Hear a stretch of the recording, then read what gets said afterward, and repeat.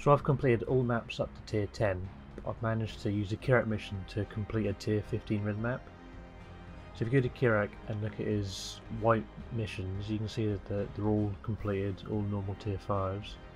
If you then use a, a uh, Explorer Scouting report on them to reset ones to uncompleted ones, it will just give you any any tier that you haven't completed. So you can see all these ones, they're all red tier maps that I haven't completed.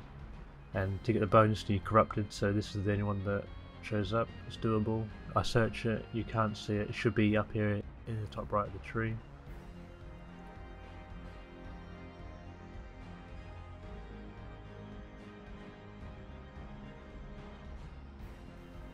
can tell by the monster level is tier 5.